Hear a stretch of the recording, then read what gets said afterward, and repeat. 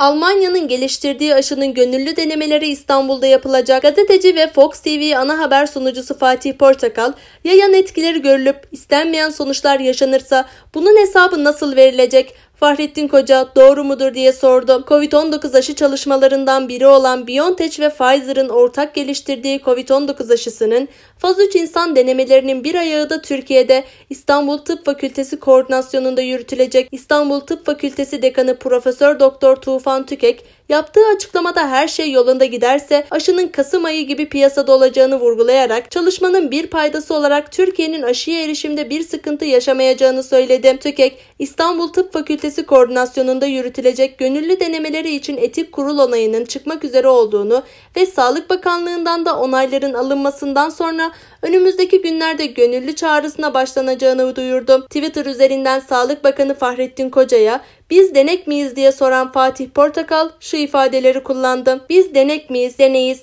Ya yan etkileri görülüp istenmeyen sonuçlar yaşanırsa bunun hesabı nasıl verilecek? Fahrettin Koca doğru mudur?